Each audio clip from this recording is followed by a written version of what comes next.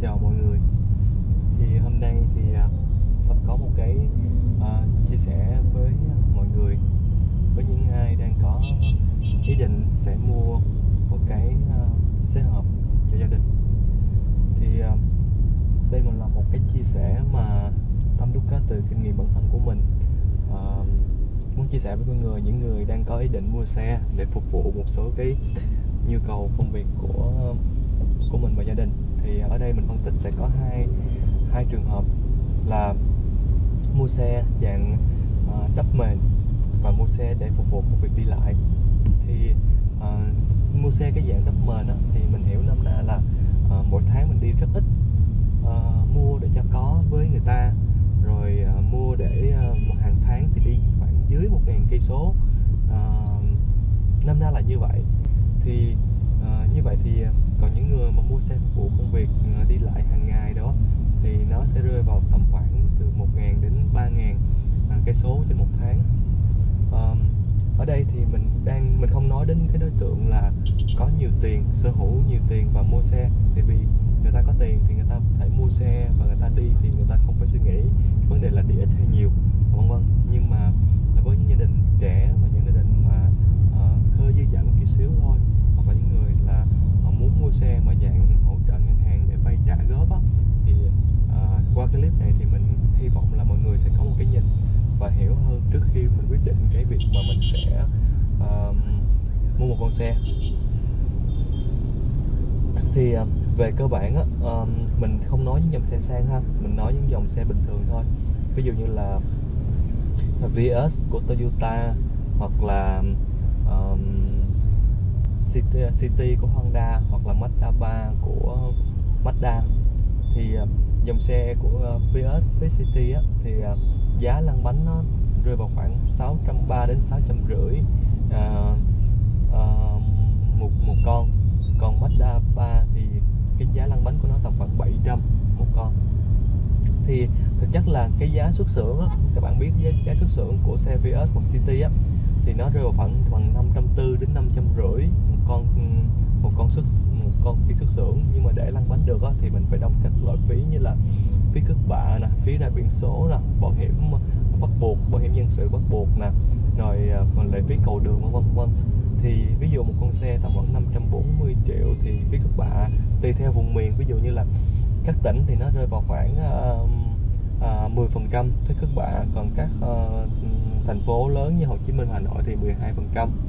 à, thì 540 thì các bạn à, đóng cho các bạn tầm khoảng 54 triệu. Sau đó à, phí phí đường bộ thì khoảng 8 triệu. Rồi à, bảo hiểm dân sự à, bảo hiểm hai chiều tất tật mọi thứ thì nó rơi vào tầm tổng số xe số tiền mà lăn bánh thì nó rơi vào khoảng 650 triệu. Rồi như vậy thì à, đó là đó là cái việc mình phải trả tiền trả tiền để uh, mà sở hữu một chiếc xe và để lăn bánh xuống đường thì uh, tiếp theo nữa thì à, uh, cái, cái chi phí mà sẽ duy trì cái cái việc uh, nuôi một con xe chúng ta nuôi một người vợ hai vậy đó. Thì uh, ở đây thì mình đang mình mình lấy ví dụ như là một tháng mình đi khoảng ngàn cây số mà một chiếc xe thì trung bình nó đi khoảng từ 8 lít đến 10 lít 100 cây. Thì như vậy thì một ngàn cây số thì một tháng bạn sẽ chi khoảng 100 lít xăng 100 lít xăng cho um, cho cái việc đi lại thì 100 lít xăng thì nó tương đương với lại 2 triệu 2 triệu 2 2 triệu 3 so với bây giờ. Sau đó bạn sẽ tốn các cả chi phí khác như là ví dụ như là uh, không lẽ mình đi xe hơi mình đi uh, đi tới đây tới, ờ, tới đâu tới đó mà không có bo tiền giữ xe của của, của bảo vệ này nọ thì trung bình thì bạn sẽ tốn khoảng 500 ngàn cái việc đó. Tiếp theo như vậy thì nó còn vào tầm 2 triệu 3 với 500 là 2 triệu 8 tiếp theo nữa là uh, phí cầu đường uh, tức là phí cái phí là bằng qua trạm thu phí á, Việt Nam bây giờ rất là nhiều trạm thu phí thì cái việc mà tốn phí là điều điều hiển nhiên. Thì mình cho tầm khoảng 500 cái tiền uh, chi phí uh, đi qua trạm ha. Rồi như vậy thì tổng tổng là khoảng 3 triệu rồi. Thì uh, lúc mình mới mua xe thì trong những năm đầu tiên á, thì lịch lệ và những cái chỗ mà công an nó cài á, thì mình không có nắm được thì đương nhiên là mình sẽ bị phạt. Thì như vậy thì à, mình cho một tháng khoảng triệu đi. Được chưa như vậy thì à, tính những con số sơ bộ thì một tháng bạn chi tầm từ 4 đến 5 triệu để ông nuôi một chiếc xe. Đó rồi như vậy thì à, ở đây mình không nói vấn đề là người ta nhiều tiền và có tiền để người ta mua xe. Mình nói về tới hai dạng là dạng vừa độ uh, một cái trường hợp là là đủ để mua xe và một trường hợp là nhờ ngân hàng nhờ ngân hàng để mà vay mua xe. Thì uh, vấn đề ở đây để sinh ở đây á, là uh, nếu mà nhờ ngân hàng mua xe thì ngân hàng sẽ cho mình vay tầm khoảng tối đa maximum là bằng 90 phần trăm giá trị của chiếc xe. Uh, thì ờ, uh, 90 phần trăm của giá trị chiếc xe. Thì uh, ví dụ như là một chiếc xuất xưởng là 540 thì uh, 90 phần trăm lưu ý nha cái việc mà ừ, giá 90 phần trăm giá trị chiếc xe chứ không phải là 90 phần trăm giá trị đăng ký xe ha sẽ xe xuống con đường lăn bánh á. Thì ở đây á uh, 540 triệu 90 triệu mình sẽ ngân hàng sẽ băng dây tối đa là khoảng 450 triệu. Thì bạn bật bỏ tiền mặt ra từ khoảng 200 triệu để sở hữu một con xe. Thì à, với mức lãi suất hiện tại bây giờ là nó rơi vào tầm khoảng uh, uh, 9% một năm. Thì có nghĩa là một năm bạn sẽ đóng cho ngân hàng là 36 triệu 9 9 phần trăm 9 uh, 38 triệu đó là tiền một nội cái tiền lãi mà khi mình mình vay à, 450 triệu của ngân hàng á thì một năm một năm bạn đã trả 38 triệu tiền uh, tiền thuê uh, tiền trả cho ngân hàng bao gồm bao gồm gốc gốc và lãi. Uh, bên cạnh đó thì ví dụ mình cho ít nhất một tháng mình chi 4 triệu cho tiền xe đi một năm mình tốn 36 triệu cho tiền nuôi chiếc xe. Như vậy cộng cả tiền lãi cộng với cả tiền mà mình uh, chi hàng tháng cho xe thì nó rơi vào một năm tầm khoảng 70 đến 80 triệu một năm thì có nghĩa là uh, mình đang nói tiền lãi thôi nha. Như vậy thì ờ, như vậy thì hàng tháng chỉ, chỉ chi một, một trung bình là cái tiền lãi ngân hàng với cả ngay cả cái tiền mà mình đua xe là rơi vào khoảng 7 đến 8 triệu một tháng. À, rồi chưa chưa kể vấn đề là chưa kể vấn đề là à, khi trả hàng thì mình bạn không bạn không phải là trả lãi mà bạn phải trả gốc nữa. Thì chính vì thế thì nếu mà trường hợp là 450 triệu thì bạn trả trong vòng khoảng 60 tháng thì trung bình một tháng bạn sẽ trả khoảng 6 đến 7 triệu cái tiền à, gốc gốc của khoản vay của bạn nữa. Thì ở đây á uh, như vậy thì mình tính trung bình đi một tháng là là khoảng 7 triệu 8 triệu tiền gốc đi cộng với lại à, uh,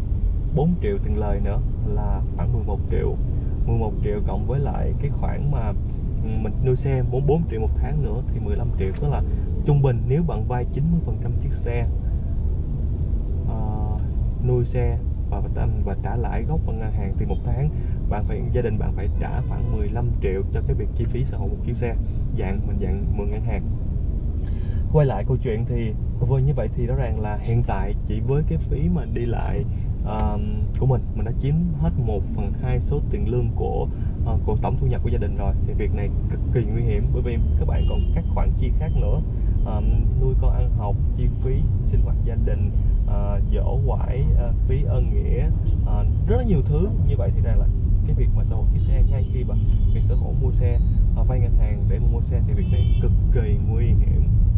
uh, lúc đầu thì rõ ràng là uh, mọi người luôn luôn có suy nghĩ là à mình mua xe uh, để phục vụ công việc đi lại cuối tuần chở vợ con đi chơi du lịch vân vân ok được nhưng vấn đề nếu mà sự có nhiều tiền còn nếu bản thân bạn có ít tiền và bạn nghĩ có suy nghĩ là sẽ nhờ ngân hàng hỗ trợ và trả góp từ từ thì bạn nên cân nhắc cái quyết định này. Bởi vì cái việc mua xe một vụ đi du lịch mọi thứ thì rõ ràng ở đây nó nó rất là bình thường. Bởi vì uh,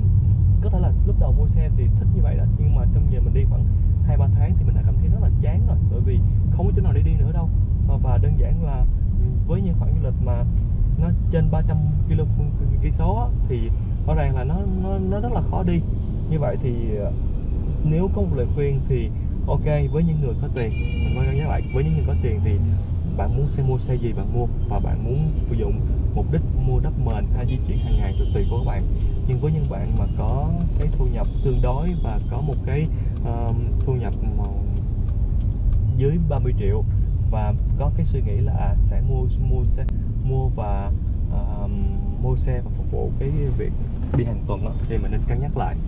à, cái video này thì mình cũng muốn chia sẻ và mình chỉ nói về cái suy nghĩ của mình quan điểm của mình thôi. Còn ý của các bạn thế nào thì các bạn cứ uh, quyết định thôi. Mình cũng muốn chia sẻ để mọi người có một cái kinh nghiệm uh, nhất định trước khi quyết định một cái việc mà cưới vợ hay.